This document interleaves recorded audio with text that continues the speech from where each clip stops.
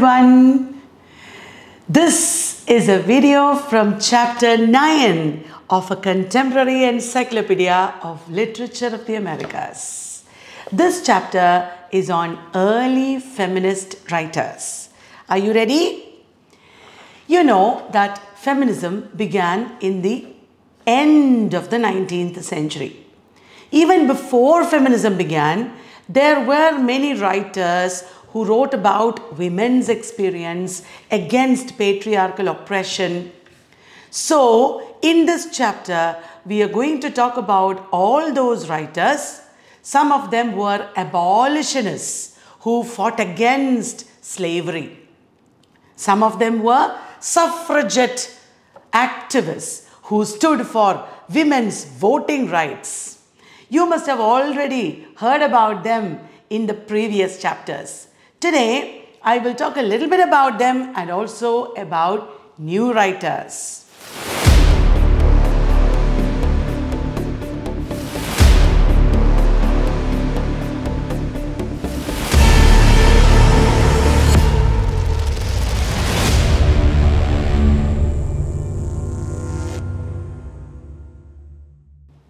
Guys, in the 19th century, there was the feminist political movement, as you know. The feminist political movement gave importance to issues of education, equal education for all women wanted, and then the issue of labor. Women wanted equal employment opportunities, and then also voting rights or the suffragette movement. You must have already heard about this Seneca Falls Convention. That was the major event that happened on 19th and 20th July 1848 at a place called Seneca Falls. This was the beginning of the feminist movement in America. So many of the writers of the 19th century are early feminists because they were inspired by Seneca Falls Convention and such developments. Now, I will tell you about some major writers that you should look up on your own. I will not be dealing with all the writers in detail because some writers you should read because the greatest experience is in reading these writers, reading about them. I always remind you, do your own research. So, who are these early feminist writers that you should look up? This is homework, okay? Mercy Otis Warren. Mercy Otis Warren was a writer born in 1728 and she was friends with many leading figures of the day. She was also a writer and she published poetry. And her poems are dramatic poems, very uh, philosophical poems, etc. Then there is another writer, Judith Sargent Murray. Maybe you never heard her name, but she wrote a very important essay on the equality of the sexes. Remember, this came in 1791 at the, about the same time as Vindication of the Rights of Women. In England, Mary Wollstonecraft wrote it. In America, on the equality of the sexes was written by Judith Sargent Murray. Then there is Hannah Foster. She wrote a novel called The Boarding School. The Coquette is another novel that she wrote. Hannah Foster. Then Susanna Rowson. Remember, this is homework. You should read extra about these writers. Well, Susanna Rowson was actually an English born writer. She was also an actress and also a writer. She wrote a lot of novels, okay, guys? And then Catherine Maria Sedgwick. Have you heard that name? She also wrote many uh, short stories and novels. Then Helen Hunt Jackson. She wrote a major work, A Century of Dishonor. Okay, these writers are your homework. Now, I'm going to tell you about a writer that you all must know. You must at least have heard the name, Kate Chopin. Kate Chopin was a novelist as well as short story writer. She was born in 1850. Remember, that was the year in which our William Wordsworth died and Tennyson became poet laureate. Very important year, 1850. She is considered a pioneer of uh, feminist literature because she created characters who are very strong, characters who come into self awakening. Talk about it. Her most famous novel is The Awakening. The Awakening is the story of Edna Pontellier, an ordinary woman who suddenly realizes her own worth. She becomes creative and she becomes sexually and artistically awakened. She was a normal wife in a normal household and then she travels to a vacation spot and there she falls in love with a young man called Robert. Well, Robert does not accept her, he leaves her, but she realizes that there is something in her that is still beautiful and uh, creative. And she starts living that life, and then at the end, she happily commits suicide. She just goes into the ocean and commits suicide because in those days, women did not have many opportunities to assert their creativity or fulfill their ambitions. So she died, but she died happily. There's a very famous phrase she died in the soft, close embrace of the sea. That is uh, the novel The Awakening. You should read it, okay? That's very, very uh, remarkable, powerful novel. And there's also a slightly funny feminist short story that Kate Chopin has written. That also you must have heard of. And the short story is available in the internet. You can read it anytime. It is The Story of an Hour. There is an ordinary woman, again an ordinary wife, who does not even know that she is oppressed or unhappy. Her name is Louis. Louis uh, Mallard, that is her name. Louis one day hears that her husband has passed away. And at first she is shocked, but then she realizes that this means freedom. It doesn't mean that she did not love her husband or anything, but she didn't have freedom. She was like a caged bird, like every other woman was in those days and even in these days. Women's opportunities are very limited. And she feels that freedom and she is so happy. And then it turns out that her husband did not die. He had not died. He comes back home. And out of that shock, this woman, Louise Mallard, dies of a heart attack, of a cardiac arrest. That's a little funny, but also uh, sad and powerful. So these uh, stories of Kate Chopin depict very vital, powerful women characters who are like early feminists. Remember, early feminism is late uh, 19th century and early 20th century. And the second wave of feminism came in the 1960s. So these characters are actually, um, so to say, feminists. Well, Kate Chopin has written many other stories and novels that I have uh, discussed in the encyclopedia. If you do not have our American Literature Encyclopedia, you can always look it up yourself. I will tell you the names. Uh, the short stories, The Storm, The Locket, I have discussed in, in detail here. And also the novel At Fault. Okay, so if you want to buy the encyclopedia, you can always go to bodhitreepublications.org and uh, order it for yourself. If not, no problem, you can just follow our YouTube videos and you can research on your own. Okay, next let me talk to you about Charlotte Perkins Gilman. Have you heard that name? Maybe you have because she's very famous.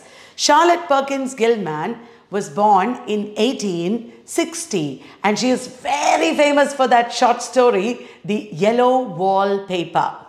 Have you heard of that? Okay, so The Yellow Wallpaper is one of her semi-autobiographical short stories, but certainly that is not the only work that Charlotte Perkins Gilman has written. She had a traumatic childhood. Her father left them and then uh, during her delivery, she had postpartum a postpartum depression and the doctor prescribed rest cure for her. Rest cure means women are confined in a room, they have to rest. For days and months on end without meeting anybody. It was almost like solitary confinement. And it is about this rest cure experience that she wrote a fantastic novel, sorry, short story, uh, The Yellow Wallpaper. Here there is an unnamed narrator. Her husband is a doctor and because she has depression, her husband prescribes uh, rest cure for her. That means she is confined in a room and there is yellow wallpaper in the room. She does not meet anybody. She cannot uh, communicate with anyone.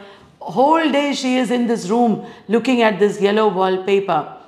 And she begins to imagine that there is a woman trapped inside this wallpaper.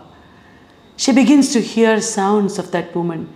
She begins to realize or feel that this woman is walking behind the walls and scratching the walls to come out. And very soon, this narrator becomes that woman.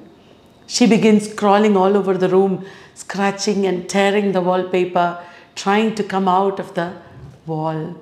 She was like a trapped animal. It was not just a fantasy. This is a metaphor for her own existence, for her life. She was like a trapped animal inside her life and she's trying to come out of it. That is, an, that is a short story, The Yellow Wallpaper. Did you like that? So this uh, short story is about themes like women's mental health, hysteria. There was at that time another disease attributed to women called neurasthenia. Hysteria. These are mental diseases that women got at that time because of oppression and pressure. And uh, they were termed witches and they were beaten and uh, nobody understood them. Nobody really cared for them. They were all confined to their domestic spaces without care and without appreciation for all the work they did, that they do. I feel sad because it's even now the condition for many women. Many women in your households are your mothers, our mothers in fact, uh, they are laboring away all the time, sacrificing their pleasures, cooking and cleaning and taking care of uh, the people. Do you ever feel like, Mother, it's enough. You have cared for us for 50 years or 40 years or whatever. Now you should take rest. We'll care for you. Stop cooking. Stop cleaning. We don't want you to do anything. Just relax. Be creative. Uh, do what you want. Nobody ever tells women, do they? Well, things are changing. I should not be totally negative. Things are changing. There are lots of new opportunities for women. More and more um, people, men, husbands, sons, uh, daughters, they are beginning to realize that uh, the, the value of uh, mother's care or women's care is so much. That is what builds the society, maybe. So things are changing. There's a lot of hope uh, because of the continuous uh, you know, awareness that is created about women's issues, etc. Lots of people have changed in our society. It's a beautiful world now. I should not um, deny that. So some of you will be thinking, why is she talking so much about women? And let me say, there are more works by Charlotte Perkins Gilman. Are you wouldn't believe this. She wrote Women and Economics. Wow, she talked about women's opportunities, uh, her, their uh, you know, education and careers also in her works. Women and economics is something that you didn't expect Charlotte Perkins Gilman would write. And then she wrote Herland. Wow. Herland is a utopian novel. And there's a collection of stories that has an interesting title, When I Was a Witch. Remember, women's frustrations and problems led them to be branded as witches. And she titled her um, works when I was a witch. That is Charlotte Perkins Gilman. She died in 1935. Now I'm going to talk about another important writer. You may have heard her name as well. Willa Cather. Willa Cather was born in 1873 and she's known for her environmentalist works set in the prairies. She is a prairie writer, American writer or prairie writer or we can say novelist of the Great Plains in America. Now she wrote many works such as Alexander's Bridge that is her earliest uh, short story. not story, it is a novel, sorry. The Alexander's Bridge is a novel.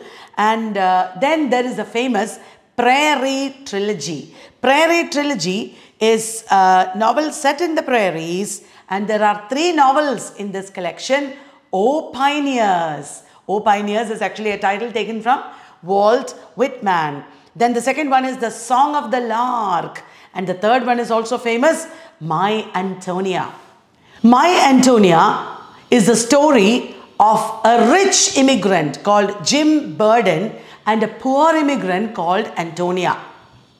Antonia's struggles and uh, her uh, spirit of survival, that is the theme of My Antonia. Then there is a very controversial novel called One of Ours, written by Willa Cather. In One of Ours, uh, she had a very uh, problematic and conservative view of war. So many writers and critics criticized her for writing this novel, including our Ernest Hemingway. One of ours came in 1922, same year as The Wasteland and Ulysses. Now, she has written other works also, which I've discussed in this book. Uh, I'm not going into that. Now, there is a writer called Sophie Treadwell. Maybe you will not get a question about Sophie Treadwell in the exam because she is not as famous as Willa Cather or Kate Chopin, but neurasthenia, remember the mental uh, disorder that women got because of the pressures of urban life and patriarchy? That she has written about in her very famous play, Machinal. Machinal is a play written by uh, Sophie Treadwell. It's very famous and it's an expressionist and modernist play. There is an unnamed woman whose name is maybe Helen Jones, that name is also mentioned. She is socially constrained and also trapped in a loveless marriage. And you'll be surprised to do what she does. What uh, Cry the Peacock protagonist did. What is that? She killed her husband. And that is out of neurasthenia. That is the name of a, mental disorder. The name was coined in the late 1880s by George Beard, an American psychologist. So I have discussed that also here. Then there are some poets I've uh, talked about here. They're also important. Edna St. Vincent Millay, Dorothy Parker, Elizabeth Bishop. Edna St. Vincent Millay and Dorothy Parker, I'm not talking about, but Elizabeth Bishop is important. Elizabeth Bishop is the author of a many poetry collections including North and South. That is a famous collection by um, Elizabeth Bishop. She wrote The Armadillo, which actually inspired uh, Robert Lowell, the later Confessionist poet, to write, I think, Skunk Hour, the poem. And there's a very famous poem by Elizabeth Bishop called The Fish. You should read it. It is about how the narrator catches a fish and she learns a lesson of resilience and uh, stoic, you know, strength from that fish and she lets loose the fish. She lets it go. That is the uh, poem, The Fish, which is very interesting. And lastly, let me tell you about a short story writer. You should definitely read the short story written by this writer. This writer is Shirley Jackson, born in 1916, and her short story, which is very famous, is The Lottery. In a, a small American town, all the people are getting together and they are going to play the lottery or lucky dip. And uh, there is a lot of description of their excitement and everybody is coming and uh, they're all standing in a queue and lucky dip is taken and the name comes to one woman and she refuses and again the name is taken and you know at the end only we, we understand that the person who gets the lot has to be stoned to death, has to be lynched by the others. It is the turn to die that is coming at the end of lottery. It is not any money or gift that you're getting. Oh my God, and they do it for no reason, they kill a person. We are wondering what? What is this about? It is about the corrupt, evil nature of tradition, of habit and ritual. Sometimes we have to criticize tradition We can't just blindly follow everything in tradition and ritual. Sometimes it is it, it may have very inhuman and primitive and ignorant uh, practices that we are blindly following. So that is what the lottery is about. Now, guys, there is something I really want to tell you. Uh, there is an excellent list of many important 19th century feminist writings that I've given in the encyclopedia. Uh, I will just mention a few. The history of the condition of women in various ages and nations. It is by Lydia Maria Child. Lydia Maria Child is a very influential writer. She also wrote an appeal in favor of that class of Americans called Africans. Now, this uh, work is an appeal for equality and equal opportunity for Africans in America. And there is the abolitionist and suffragette movement people like the Grimke sisters. The Grimke sisters are Sarah and Angelina Grimke. And you might also have heard of Elizabeth Cady Stanton. She was also part of our um, Seneca Falls Convention. Sojourner Truth, who wrote Ain't I a Woman. So like this, maybe some 20, 25 uh, works I have given here, which are very, very important. Uh, you may also read on your own and research on your own. This is a very important area that we have covered. I hope you enjoyed this video. Please remember to like the video and subscribe if you don't mind. And also you can share this video with your friends so that we can all learn together. Thank you very much. I hope you're enjoying this series. Study well, do your own research. All the very best.